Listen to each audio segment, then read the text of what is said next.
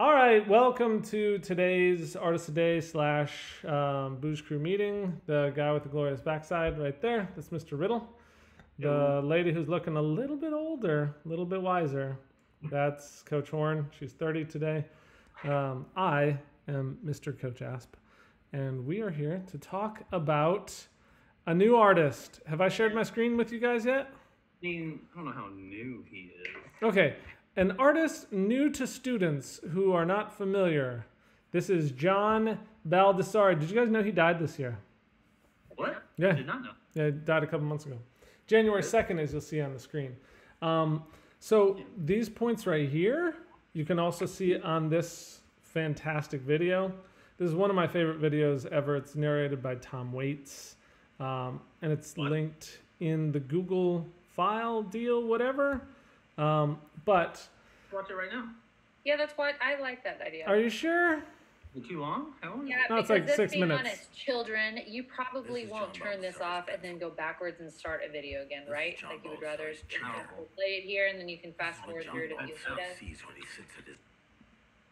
Hey, that says Clint. This is a film about John Baldessari, the artist. John Baldessari decided that this film should be narrated by me, Tom, Waits. He's uh, got a great voice. Thanks, John. John Baldessari has been called the godfather of conceptual art, a master of appropriation, a surrealist for the digital age. He's made paintings, photographs, billboards, videos, films, sculptures, digital art, credit cards, and an iPhone app. In 1970, John Baldessari burned everything he ever made. It was in a crematorium, so the proper term would be cremated, I suppose. We'll get back to that. John Baldessari is a towering figure. He's six foot seven inches tall. Cool, yeah, you get a lot of, you know, how's the weather up there, blah, blah, blah. John Baldessari's That's studio taller door than has you, two Horn. peepholes, regular height and Baldessari height. John Baldessari wonders about Clint Eastwood's height. How tall is he? John can be instantly recognized by his big, beautiful beard. It's pretty much the same color as my hair. John Baldessari has had over 200 solo shows and over 1,000 group shows. John's awards and honors include membership in the American Academy of Arts and Letters, American Academy of Arts and Sciences, and the Golden Lion for Lifetime Achievement Award at the Venice Biennale in 2009 for the of Lifetime Achievement. Jesus Christ. This is John Baldessari's coffee machine. That's John Baldessari's Wi-Fi password. In a hundred years, John Baldessari suspects he will be best remembered as Or the guy that put dots over people's faces.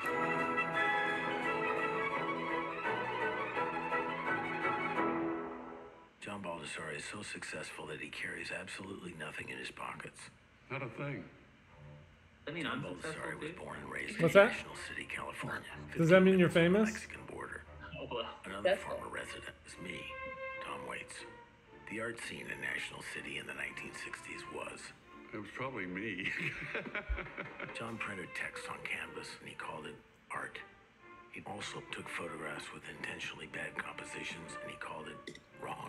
the artist calls it art artist's art. In 1970, John Baldessari decided to cremate all the paintings he made between 1953 and 1966. I still have the ashes in a bronze urn in the shape of a book, suitable for your library shelf. This is John Baldessari's library. These are John Baldessari's push pins.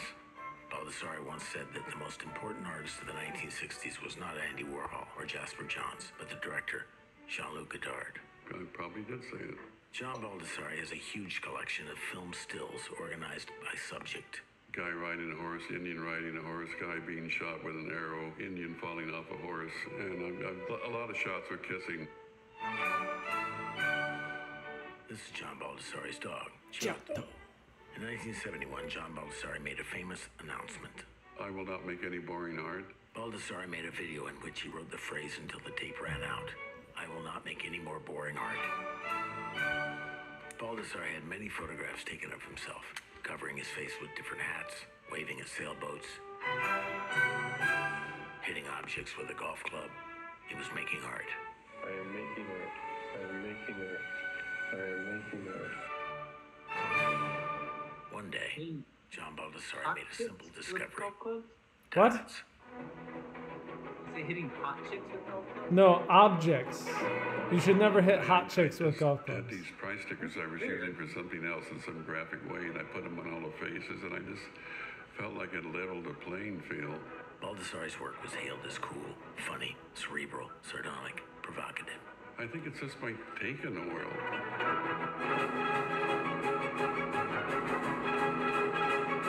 Are you regretting that we chose to watch this whole thing, Horn? Okay. My favorite part is coming up. Baldessari's name is internationally recognized. Cool. Ladies think his name sounds sexy.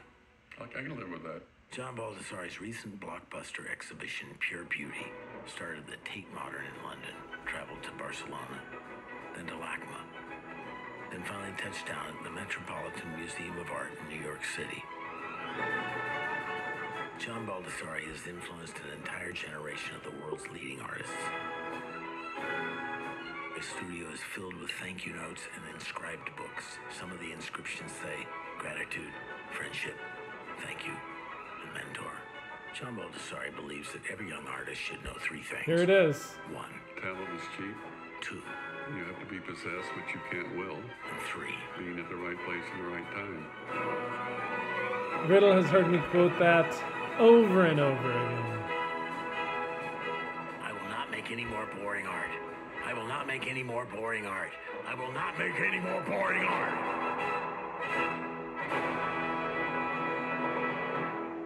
How do I exit full screen? On my end, because of the, uh, I don't know, however the sound goes, it sounds like one of the uh, Daleks from Doctor Who. The what? I have questions. Okay, you can ask your questions, but how do I get out of this presentation? Escape? Are just There you go. There we go. Okay. So, what's your question? um what I wrote down hers and then it keeps jumping in and out of my brain. Hold on. I can get it. You can do this. Uh, Prince. Was Prince copying his text paintings with his jokes? I'm glad that you brought that up. I, I feel like if you are familiar with, because when we talk about Richard Prince, we talk about his Yes Rasta appropriation of Corral, the photographer, or Cariou. If the And- kids have had me, they've th- Yeah. Prince is on my list. and he's got he's got dots or blobs over a portion of the face. Yeah. Um, Yes, John Baldessari is a little bit older and started a little bit earlier than Richard Prince. Okay. I kind of think that Baldessari had an influence on Prince, but I couldn't find anything definitive. If anybody's got uh, a good source on that, I wasn't even thinking about Yes that out. Rasta. It- They had the big canvases with the text across, and that's what I was thinking of Prince's jokes. Well, I'm so glad you mentioned that because we're talking about art in context here. Um, we'll come back to this one, but so paintings of text. Do you guys know who this is? I thought it would be fun to have a little quiz. Uh, I know who it is. I'm gonna fail every time. Okay. Kids, I'm on the same playing field as you. Do you know the title of it, Mr. Riddle? Oh, cut with a Yes. knife. from Cut with the kitchen knife Cut with the kitchen knife. But I don't know. It's really long. through the Weimar beer belly last cultural epoch of the Germany something by Hannah Hoch. Wow, the timing. By on it. Hannah Chalk? No, Hannah Hoch. Hoch. I really hope Hannah watches this. My German is not great. But you can see that Baldessari was not the first. This was 1919. Um, people had been doing text, but he later would influence. Who's this? Come on. It's a woman artist. Come on, Lauren. Corno? I don't know. I'm here to learn. Riddle, go. Barbara Kruger. Barbara Kruger. Okay, so, and the video made mention of Barbara Kruger. Uh, who's this guy on the left, Jorn Korn? Ri- That's Richard Prince. Do you guys know who it is on the right? Yeah. no, but uh, I like that. Ed Ruscha. So, ah, um, no, that's Richet. What do you? that's Ruscha. That's how you pronounce it. Hey, Oh. can I can I interject real quick? Wow. As I have broccoli in my teeth, Yes? I just feel like the students are going to remember Prince is the guy that stole people's Instagram photos, did Correct. a false comment on the bottom, and like repurposed and printed it out, just so you can connect which artist we're talking Correct. about. That is That's- Richard Prince. Okay, sorry. Um, no, you're good. So one thing that I thought would be interesting and fun is to to see where um, Baldessari is getting some of these ideas. Like So obviously he's messing with composition here. That you should not put the figure directly underneath the palm tree, lest it look like the palm tree is growing out of the figure. Those are weird congruences that you should avoid for the most part when you're doing figurative work. But do you know who this is? Horn? I don't. I remember the piece, but This is Nah. Le Déjeuner sur le herbe. That's my French. The luncheon on the grass. Riddle, do you know who it is? Uh, I, Edouard Manet. oh, So, um, Manet liked to mess with bad composition or challenging the establishment, and everybody after basically has done the same thing. So, uh, this, a glass is a glass, but a cigar is a good smoke. Do you guys know what he's referencing in this juxtaposition? Uh, ooh, this is Sorry? not a this is not a pipe. yeah, this is not a pipe. Magritte, or Magritte's dudes, man. Magritte's treachery of images. Um, he's probably also referencing Freud and Kipling. They have quotes about pipes being smokes anyway. So um, I bring that up because it's kind of Im- important to know that Baldessari wasn't just d- being stupid. Like he's he's very um, established when the, within the context of art history. But to understand him, you kind of have to understand art history. So let's keep the quiz going. This will be a little bit fun. Okay, can you guess what painter is being referenced on the left? Duchamp. This one right Gotta here? be- It's got to be Duchamp, right? It is With the- Duchamp. This is Yeah. Fountain. Who'd you say, Riddle? That one threw me too. I just you said painter and I Oh yeah. Okay, so they're not all necessarily painters too. Which famous artist? This is the bride stripped bare by her bachelors. Okay, how about this one? Um, uh, Damien Hirst. Hurst, yeah. Damien Hirst. Very good, very good. I tried to start with easier ones. Denim and dots. This is Magritte. We just looked at Magritte. How about this one? Splatters. Uh, Pollock. Pollock. Jackson Pollock. Very good. Okay, so that makes the one on the left. I mean, probably Rothko. It is but Could Rothko. be so many. And It if you've be been through Ricky painting with me- couldn't it? What's Or that? not? Couldn't it be like Scully also, or Uh, yeah, they're not hazy, so uh, it could be another color field artist, but color field, yes. Uh, the one on the right's pretty easy. Warhol. Or how about the tough ones on the left? This may not be super tough. No uh, the one on the right? Uh, Titian? No. It's not no, Titian. No. The one on the left uh, usually has light Deed. flooding Deed. in from the top left, raking across the figures. This pearl earring is typically attached to a girl. Oh, I yeah. That one maybe called the girl with the pearl earring. Yeah, Vermeer, that's it. Vermeer. This is Vermeer. And Is then that, um, hang on, don't say it. Is, is I David won't say or, it. or David? David, yes, very good. Jacques Louis David. All right, how about this one? Apple, orange, milk.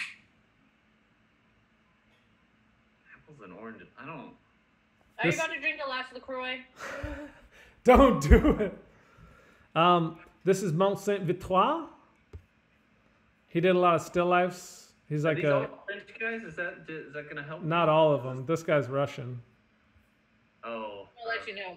I've already lost patience for this. Okay, this is Cezanne and this is Chagall. So we're moving on. Oh, I knew it was Chagall. Then, oh man. Uh oh. Man, what's his name?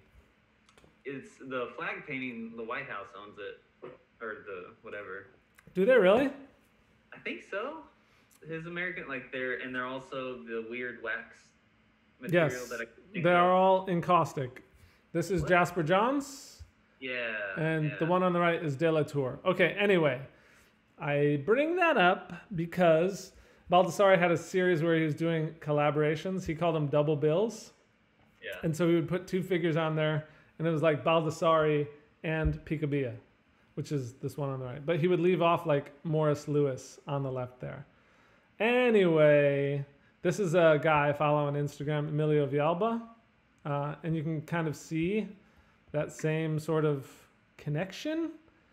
Um, but also, Jake and Dinos Chapman, I don't know if you're familiar with them, they bought a series of original engravings from the Goya Trust so that they could intentionally deface them and collaborate with Francisco Goya. So Can you guys hear that in the background of my? No, Kind can't hear anything. So anyway, Baldessari stands on one side of art history, knowing uh, what's come before him, and then on the other side, influencing all these other people after him. So I think he's pretty significant in that, right? That if you want to talk about conceptual art or art becoming more of a game of philosophy, Baldessari is important to know. This is his 1970 event of burning everything and then going into making art, not boring art. And there he is with dots over the faces. That's kind of what he's known for. That's where he made it big. He started doing that in the 80s. Um, about the same time Richard Prince was appropriating the Marlboro Man for his untitled image. That's what I was gonna ask. So he started making art, or he started gaining fame in the '60s. Yes. He was doing he was doing a lot of those word paintings and the collaborations and stuff. I think he burned those and then he would later make different versions of them after he achieved fame. So he was doing that stuff in the 60s and 70s. And then the dots came in the 80s. So Prince was doing his jokes. That was well after his rephotographs. Um, so his text paintings we were established substantially. that we're talking about Richard Prince and not the artist formerly. Purple rain, purple rain. Yeah, Richard Prince, not the artist formerly known as. Making sure. I Um, take some. Um, I don't know the right word. Not offense, but number two bothers me a little bit that you have to be possessed, because I think that it's like the inspiration is for amateurs kind of thing again. It's like you have to put in the daily work in order to get there. I know it feels so good. This is why girls wear makeup. Sorry, Clint. I have a ruler. That's about all I can do. Probably shouldn't do that. Don't. Yeah, that's not. Um, well, this is, I, I would say, yes, don't wait around for the urge to to create. That's the whole inspiration is for amateurs. But I feel like it's kind of talking about, you know, if you're going to achieve international fame and you're going to be an artist or bust, like that's it. I do agree. You have to have this level of that's all I'm going to do. I'm, I don't have a backup plan. I, I'm not going to do anything else. I think that's what You're he's gonna talking become a teacher. about. Oh, try to make it. I'm just kidding. It's the best job in the world. Look at us. Jasper Johns was a teacher. before he- Baldessar was a teacher before he started. Guys, I was kidding. I Okay. love our job. I'm just saying. Um, speaking of which, can we plug our the, the Instagram challenge? You may. Yeah. This is the, this is it for Baldessari. Um, the his advice to young artists. That's all there is. That's all she wrote. All right. Um, that was great, Jay. Oh, okay. Glad you Can make enjoyed it. Screen now, so we can. What Go now? back. Oh, Jay asked, go back to the gallery view, so it's just our faces. Back to you're meeting. Stop share. I tried. It was. Is that better? Yeah. Yes, we're still still recording though, recording? right? Uh, still recording. Yeah. Okay, guys, the the Instagram challenge of the day, if you don't have an Instagram and want to upload it onto Google Classroom, is to, to go outside and do something un plein air. Uh, because I know it's real easy to sit on On your couch. or in? Plein air. but even if it's just your front yard or your backyard, or if you don't have a yard, just go away from people, but go outside, but go do something outside today. If you missed the first two, want to jump back in. The first one was a 15 minute um, continuous contour of your view. Mine was like big chilling on my couch and had all my kids' toys everywhere. Is that yours? Is that the Yeah. plein air or the 15 minute? This is a 15 minute, and I didn't read the instructions about Hmm. continuous contact. I Always read the 15 part. instructions all the way through. Way to listen. Um, so Clint Well, fails. It's Everyone reading, else not listening, and I don't get paid to read. Uh, yesterday was the self portrait, which I'm gonna do late today because I didn't. That's all I've been doing for all three During days. the. Ooh. nice, Clint. Can you? I mean, Mr. Riddle, can you post these so I can share them on my classroom Instagram page? They don't need to be private. That sounds like a lot of work. It's really not. Okay. I'm working on it. Well, good challenge. Make sure you check out. Is it at CHS underscore drawing? Um, yes, Coach. I mean, Miss Kitson's posting them too, or you can follow my account, which is Coach Horns class underscore CHS. Um, or you can just follow the hashtag, which is hashtag CHS COVID creatives. Very good. All right, so make sure you learn a little something, make sure you make a little something, and make sure you stay isolated and safe.